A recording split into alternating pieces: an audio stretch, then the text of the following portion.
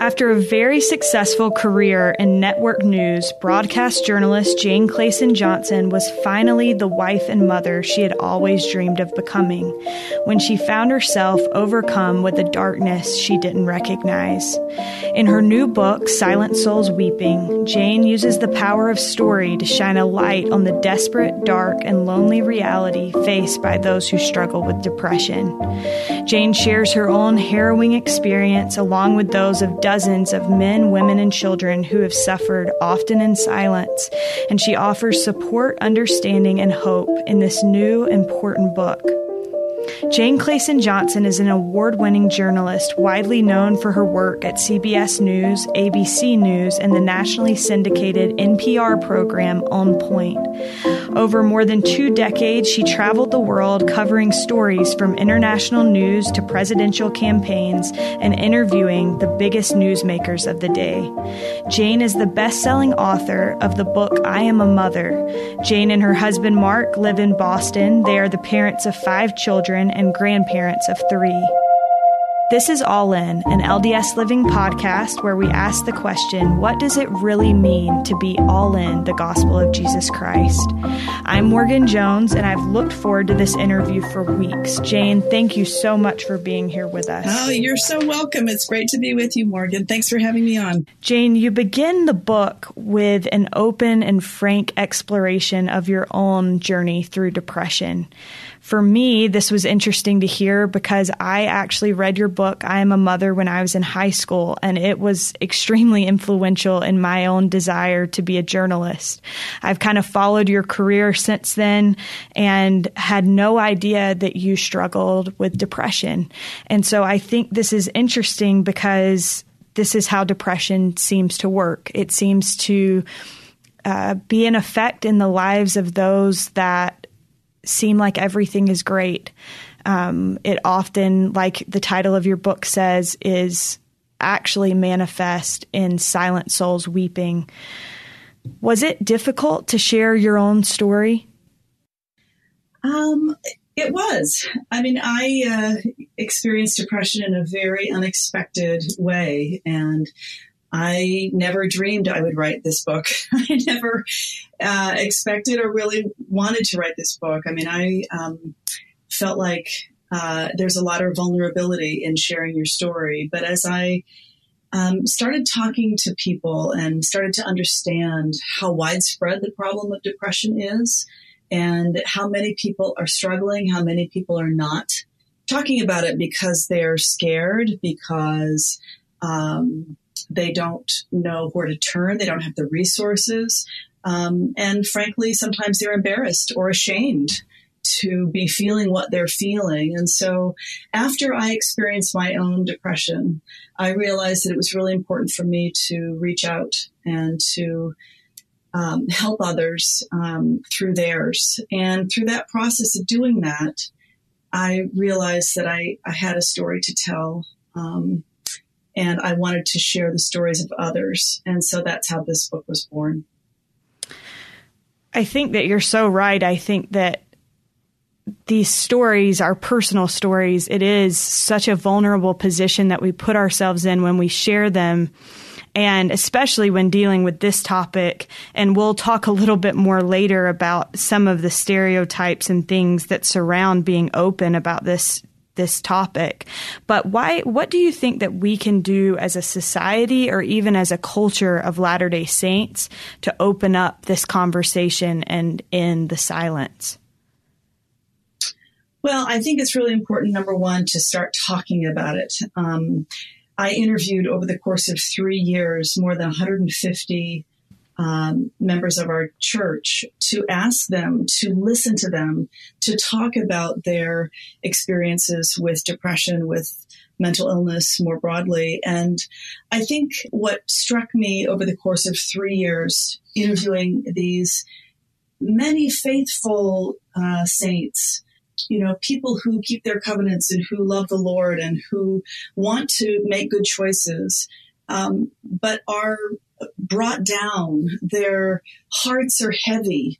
Their minds are dark because of an illness. And what I learned over and over again is that when you reach out even in your darkest moments and you talk with someone and you ask for help or you reach out and help someone who you can see is struggling, it makes a difference. And if if there's anything that I've learned over these three years, it's, it is that we need to reach out and share our stories so that nobody feels alone in these struggles. I mean, for me, it was really hard. And when you're in the depths of a, a really bad, deep depression, it feels like, you know, at least it did for me. It, it felt like I didn't want to go on anymore. I didn't want to live.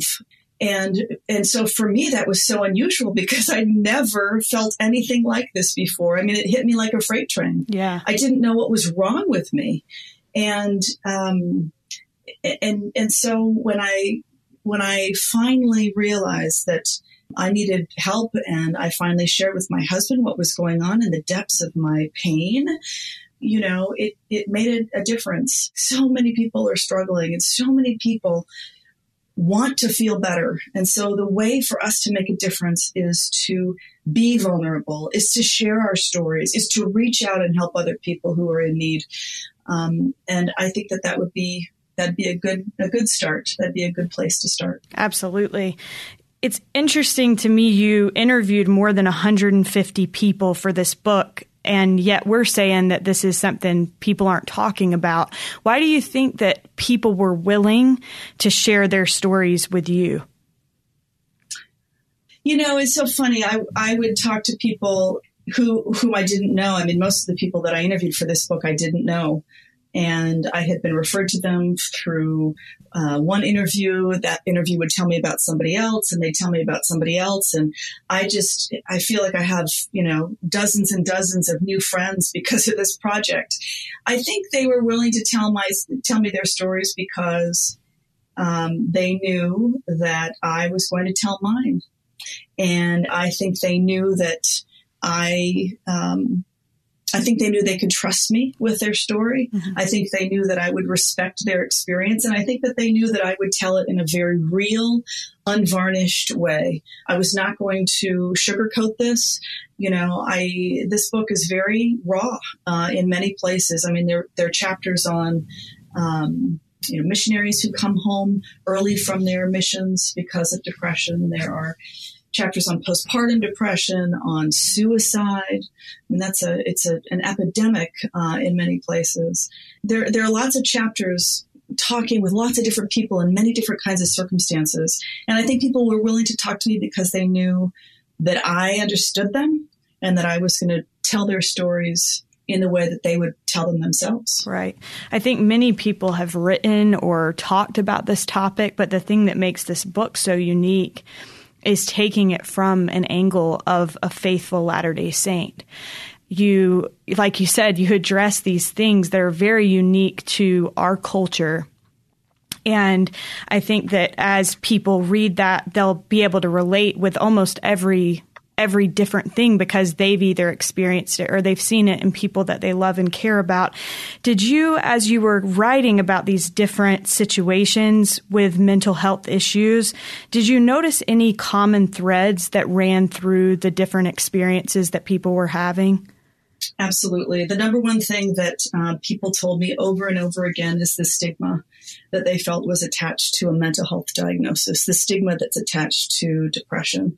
I think slowly we're overcoming that, and I hope this book is um, another way that that happens. But I think most people feel like somehow that they are less of a of um, a contributing uh, member of society or a contributing member of their congregation or their culture because they have mental health problems, because they are suffering from depression. I think people feel like, wow, if I can't just snap out of the this, I can't just pull myself up by my bootstraps and kind of get over this myself, you know, something must be wrong with me. What is, why can't I figure this out on my own? And if anybody knew about this, they would think less of me. They would, you know, sort of put me in a, a crazy category, which is, which is so contrary yeah. to any right. other form of sickness. Right. It makes That's no right. sense. right. right. When you break your leg, you you go get a cast put on it. When you have diabetes, you take insulin. If you have, you know, um, cardio cardiovascular disease, you know, you go to a cardiologist. And I had one woman tell me, I wish we could put a cast on our heads because something is broken in there. And that's really hard for people to understand. So I think the number one thing that I heard over and over again was the stigma attached to a mental health diagnosis, but also the medication um, sometimes that is, di- that is um, prescribed for it. I love in Elder Holland's talk, and you you reference Elder Holland frequently throughout the book. Well, he was the inspiration for this book. I mean, his his talk on depression and mental illness in General Conference several years ago was a watershed moment for me and for many many people that I interviewed. They felt like that was the first time that it had been acknowledged in our religious community, and they felt like a burden had been lifted. They felt like they were in some ways kind of free to to to to talk about it carefully yeah. and to open up at least in their own families and their in their own experience about it. So he really was the impetus for me writing this book. Yeah. Well um, i think you're absolutely yeah. right. I think we've seen since that talk people becoming more open about it. But i love in that talk where he says you know if you don't take the time to be to be to become well, you certainly will take the time to be sick. And right, this right. it's true in all forms of illness, but certainly in this situation, I think sometimes people um, just try to excuse it away. And um, one thing that I was thinking about as I read your book is that in the church, I think we often talk about discouragement and how discouragement mm-hmm. is such a tool of the adversary to make us feel less than or to make us compare ourselves with others, which I, is a whole nother topic that I think is a plague mm-hmm. in our society. But what mm-hmm. would be your advice, Jane, to someone who's trying to determine whether they're experiencing discouragement and whether it's just Satan trying to get them down or whether they're actually facing depression? Well, I want to be very clear here. I'm not a doctor. I'm, you know, I'm not a medical doctor. I'm not a PhD. I, am not here to diagnose anyone, but I speak in this book experientially.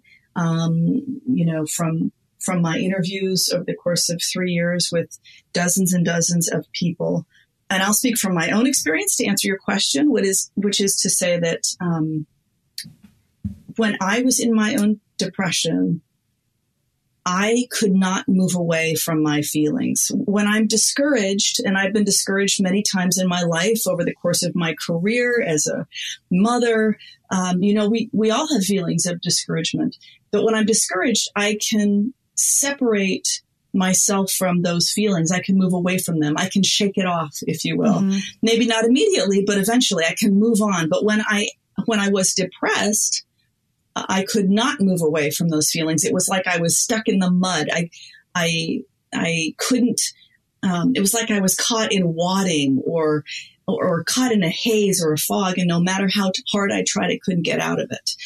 So I guess that's the difference for me is when I'm discouraged, I'm a free agent right. of my emotions, and when I was clinically depressed, um, I feel like I certainly wasn't. Yeah.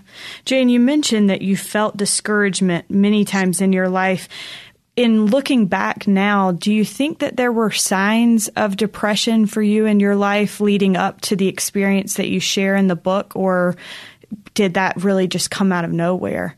No, it really did come out of nowhere. I mean, I've had, you know, I've had uh, hard times, I've had difficult uh, periods of life, um, but nothing that I couldn't. Um, get out of, nothing that a good cry or two or three couldn't, uh, you know, sort of take care of. But when I was in, in this clinical depression, um, it was just completely different.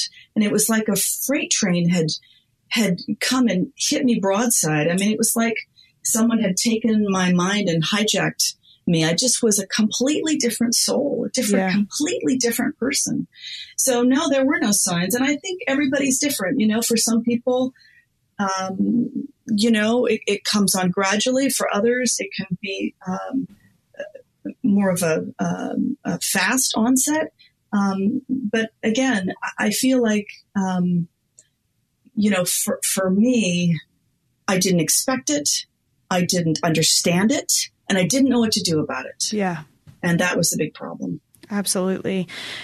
Jane, I want to talk a little bit about perfectionism. You write about this in the book, and you say that perfectionism can play a unique part in depression and that within the church, it can be a special problem. You give an example that I love in the book about how a hospital in Utah County said that they see a, a, spike in the amount of women that come in on Sundays right around the time that church gets out. And I think that that There's is a social worker, yeah, Chris Doty Yells, who uh, worked at Utah Valley University, was working as a clinical social worker at uh, at the hospital there in Provo, and uh, she noted that when she was working, that she would see this influx of patients of women coming in on Sundays who who felt this way, who felt you know sort of panicky about a new calling, about something that they'd heard in church. And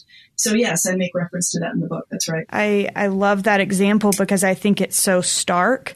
But what struck you most as you listened to people talk about perfectionism and as you wrote about it in the book?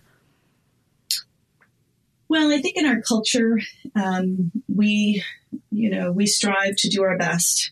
Members of our church are, you know, generally very good people. You know, we have high standards for ourselves. We have high standards for those around us. And I think sometimes we misconstrue the Savior's admonition to be ye therefore perfect. Um, I think we put that scripture in Matthew on steroids, to be frank. Mm-hmm. I think we see that word perfect in there and we think, okay, I've got to be perfect right now. I have to be without flaw right now. I have to be without mistake. I, you know, and if I can't be perfect, since I'm not perfect, I have to give at least the illusion that I am perfect.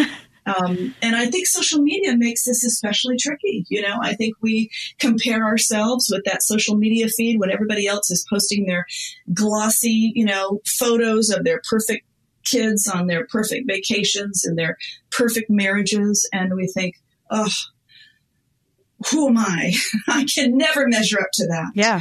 And so I think, you know, I think the Savior's plan is to work on the inside we don't have to worry so much about the outside. We have to stop comparing ourselves to each other, stop trying to be perfect right now.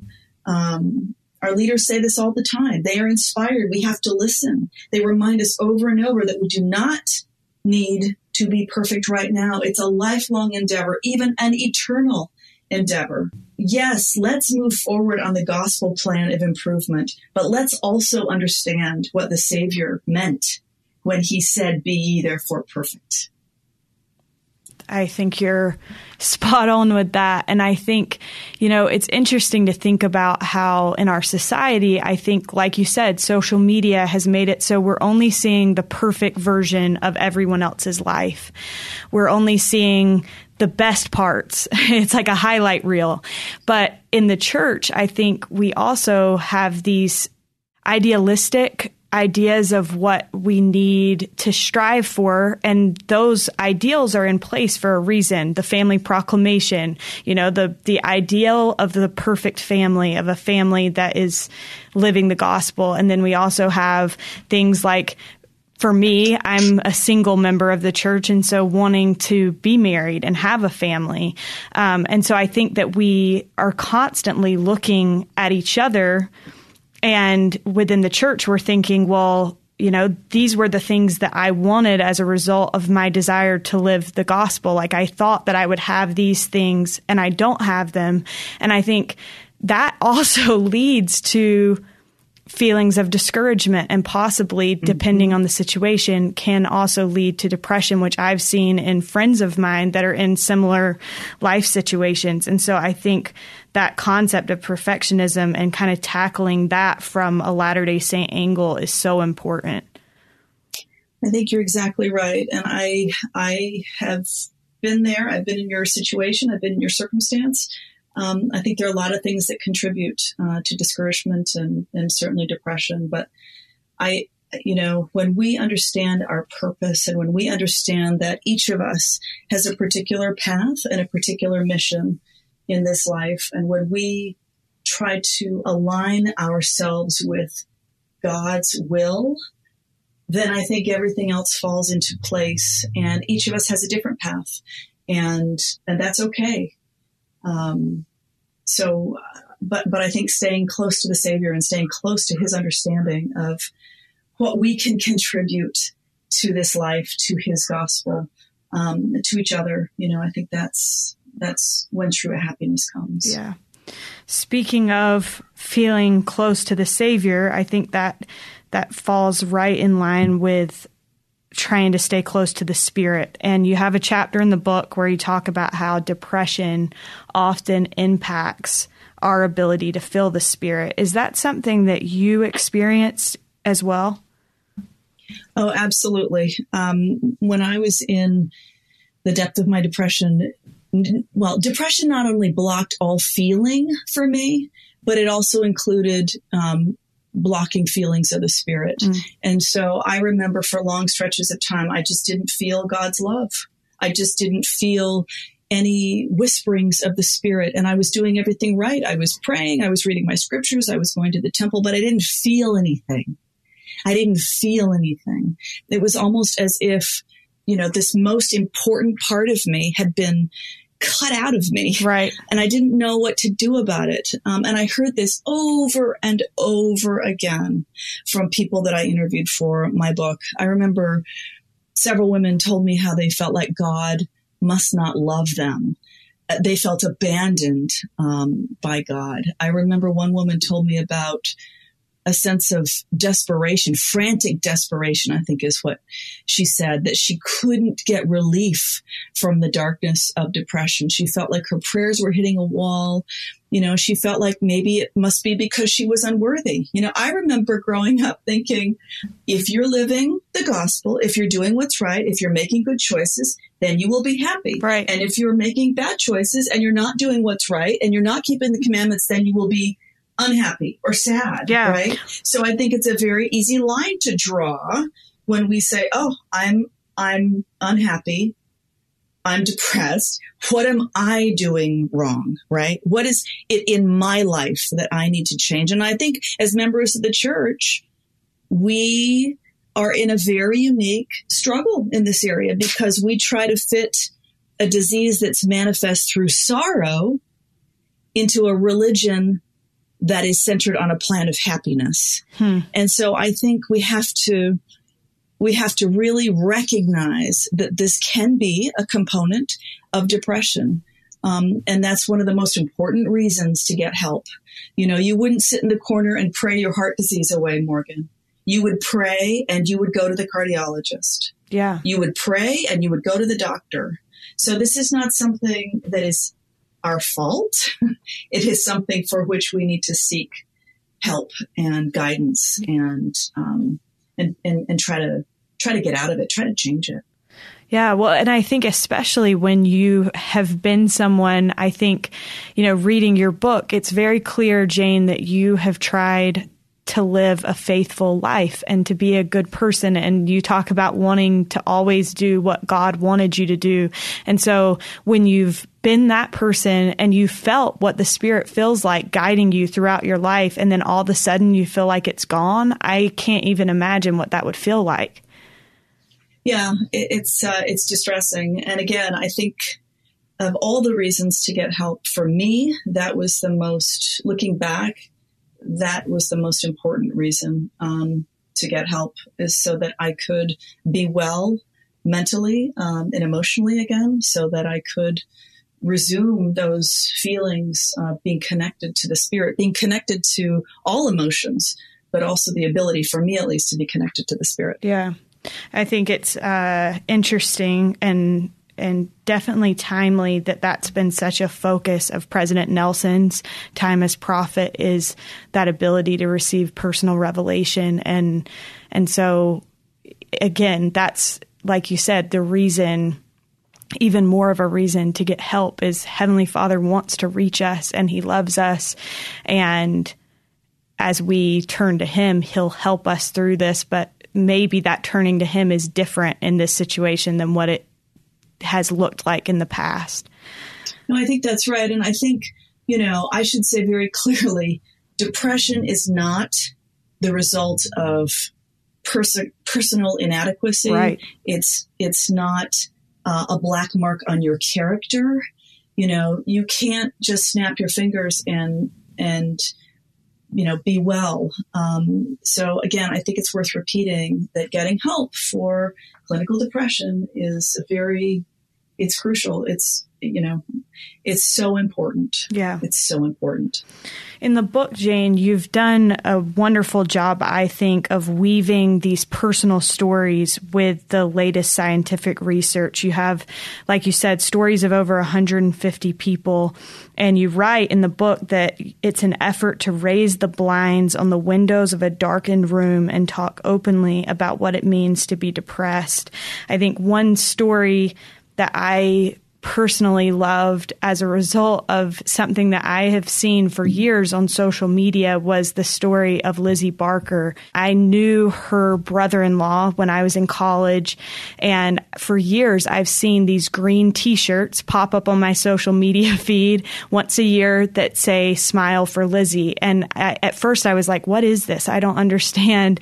And so I, I, being the person that I am, I like look it up to try to figure it out, and I find these pictures of this beautiful girl who. Um, who took her own life and found out that these t-shirts that these people were wearing were an effort to honor her and remember her life and um, I loved reading about her experience and her family and how they responded in the wake of her passing. Um, and so I think that's a powerful story that you tell and, and something that's so important. You mentioned earlier suicide being such a problem, especially in the state of Utah. You talk about in the mm-hmm. book that it is a problem. Do you want to touch on that at all, Jane? Oh, sure. Uh, yeah. I mean, I, I think the statistic, well, there are several statistics that are quite jarring. The first to me is that there's been a 28% increase in the suicide rate in the United States over the last uh, 20 years since 1999. A 28% increase in the suicide rate in this country. And in Utah, where, you know, what, approximately a third of the Latter day Saints in this country live, suicide is the leading cause of death for young people ages 15 to 24. The leading cause of death for young people ages 15 to 24.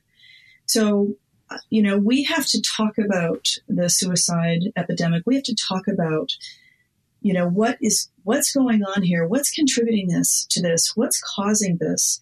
Elder Dale Renlund um, of the Quorum of the Twelve Apostles is also a medical doctor, and he he made a, he made a wonderful series of statements about this. And in, in an interview, he said it is completely safe, completely safe to ask someone if they're having suicidal thoughts hmm. or if they're having thoughts of harming themselves. And for my book, um, I interviewed many doctors who said the very same thing.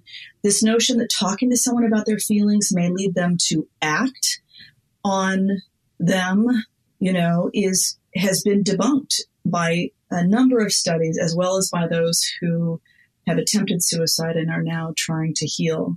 So talking about suicide can actually help to prevent it. And part of my mission with this book is to shine a light on the need to have these important conversations, to open up, open up about it, to start talking about it, because these numbers are are incredibly um, disturbing and just heartbreaking. They're heartbreaking.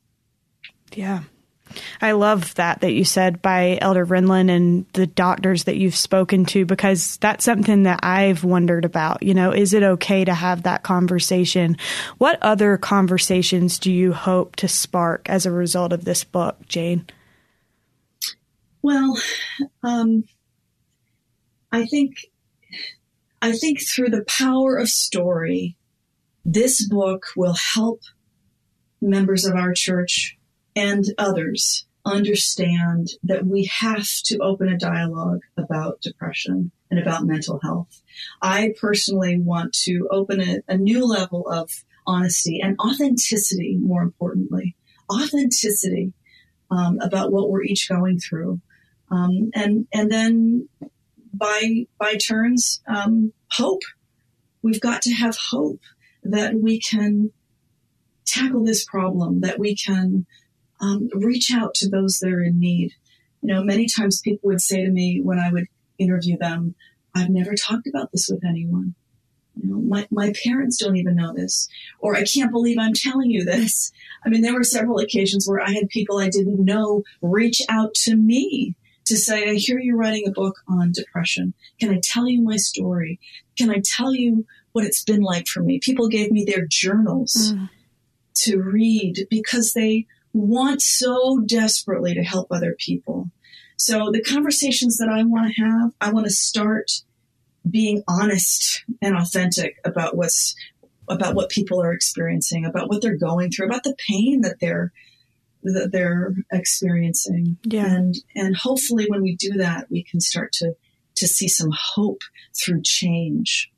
How do you think, Jane, this book might help those you, like I said, you focus on a Latter day Saint community. How do you think that this book might help those in leadership positions within the church or those maybe who are ministering to someone struggling with depression in that, in their individual capacities? So it's a good question. You know, I heard from a lot of leaders, a lot of bishops, a lot of stake presidents, a lot of Relief Society presidents um, who told me that they've seen firsthand that many of our welfare cases, many of our unemployment cases, difficult problems, that a lot of these problems facing families are driven by underlying mental health issues. So I think for leaders, knowing what mental illness looks like, how it presents itself, recognizing the symptoms, um, that will open the door to understanding um, how to help. I think we have to educate ourselves about these issues, about the signs, about the symptoms, and acknowledge their biological component in many regards. But but at the very least, be aware of it, and then and then and then try to help try to try to reach out to find resources for those who are in need yeah i think the book does such a good job of telling these personal stories that you kind of start to recognize um, i i found myself feeling like i was better understanding what is going on in the mind of someone facing some of these struggles. And I think that would be so helpful in trying to help and show compassion and empathy. You have obviously had some pretty incredible experiences during your career as a journalist. How would you say that writing this book compared both emotionally and in terms of fulfillment with your previous work? Oh my. Well, I think um, over the course of you know 20 25 years i've had a lot of different experiences in journalism i've had the opportunity to travel the world and to interview um, you know important people presidents and and uh, opinion makers and you know i loved all that for me writing this book was incredibly fulfilling because i felt like I was connecting on a very, very important level with many, with many people. I felt like, um, I started to understand people in a way that I hadn't before. Um, I, I feel like, you know, we go about our lives and we do our jobs and we have our home lives and we take care of our families and and life kind of goes on. But I think when we stop and understand and appreciate um, the struggles that people have, when we're able to to really mourn with those that mourn, I think it can be an incredibly transformative experience. And this uh, this book gave me many opportunities to do that. Um, and for that, I will always be grateful for this opportunity to write this book, to connect with so many people, to truly mourn with those who mourn. Yeah. I love what you said about, you know, we get so caught up in taking care of our own families and our own lives. But really, when we think about it, when we stop and and take a second, we recognize that we're all brothers and sisters. And I think that that that experience that you had is connecting on a very personal level with your brothers and sisters. And I can see how that would be rewarding. I know for me, Jane, many times the things that I write when I'm writing about myself and my life, I've found that it's helpful to me in writing and interviewing other people because it helps me connect and then I am able to find purpose for the difficult things that I go through in my life. Mm-hmm. I wondered as I read, I couldn't help but think, is this helping her give purpose to the pain that she experienced? Absolutely. It's a very thoughtful question and very insightful. I mean, I think that I, I, personally believe that nothing happens without um, reason. I think that there are no coincidences in life. And I feel like um, part of what was so fulfilling about this project and writing this book was that I felt like I had um, the ability to use my experience to help other people. And I, that's really at the core of what I'm asking people to do when they read this book is to understand that they can use their experience to help others and if they do, you know, we'll all be better. Yeah. it's like a, um, you know, we pass it along. We, we use what, what has happened to us to help the next person. Yeah. And, um, that was a wonderful thing for me about writing this book. It gave, it gave what I went through purpose. You're exactly right. And I think it's so neat that you did this because it's using a gift and a talent that the Lord has given you to interview people and to put those things in writing.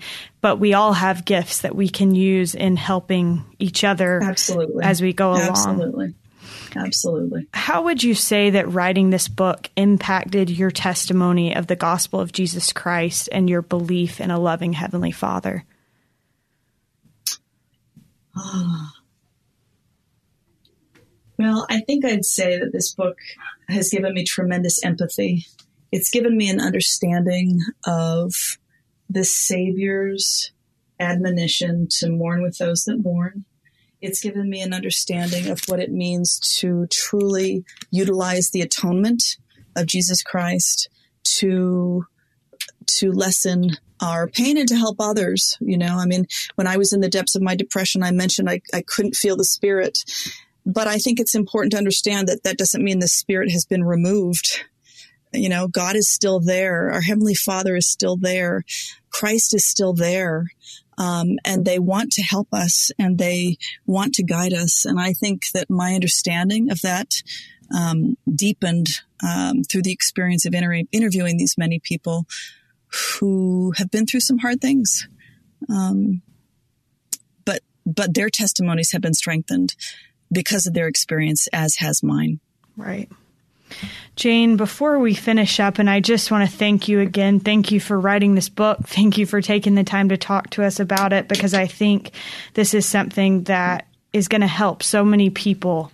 Um, I think that people everyone wants to know that they're not alone. And I think that's what people will find in this book. But before we finish up, I just want to ask you one last question, which is the question that we ask at the end of this podcast in each episode. And that is, what does it mean to you to be all in the gospel of Jesus Christ? Hmm. Well, uh, this gospel means everything to me. It, it has shaped my life. It has impacted my life. Um, it has changed me as a person. Um, it has changed my family. My husband is a convert to the church. It's changed his life. And so by extension, that has changed my life. Um, I see what it does for my children. You know, I think it can be very easy these, these days, especially to talk yourself out of faith, to talk yourself out of the gospel. Um, but for me, I choose to believe. I choose to understand that I don't have all the answers to every question, but I know God lives. I know He loves me.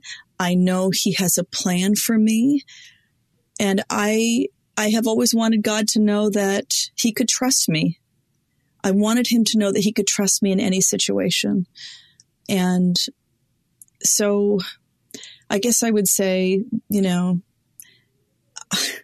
I'm grateful for this experience of depression, for what it has taught me. I never thought that I would say it. I never thought that I would be grateful for a journey through depression, yeah. but it has strengthened my understanding of grace.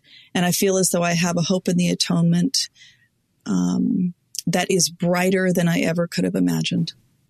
Thank you so much, Jane. I love what you said about wanting the Lord to be able to trust you. I think that is something that I've always felt a desire for in my life as well. And I think that this book and these people being willing to put their trust in you is, uh, in a way, the Lord showing you that He can trust you as well. And I think that that's a really beautiful thing. And it reminds me of President Monson saying that he always wanted he always wanted the Lord to know that he could trust him to do his errand. And certainly the Lord has entrusted you with doing an, an, important errand here. So thank you so much.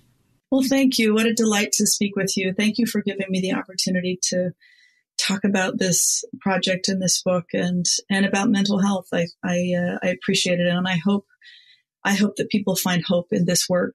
Um, that's that's my hope. Thank you, Morgan. We are so grateful to Jane Clayson Johnson for joining us on this week's episode of All In. You can find Jane's new book, Silent Souls Weeping, on Deseret bookshelves now. For more episodes of All In, visit www.ldsliving.com slash all in.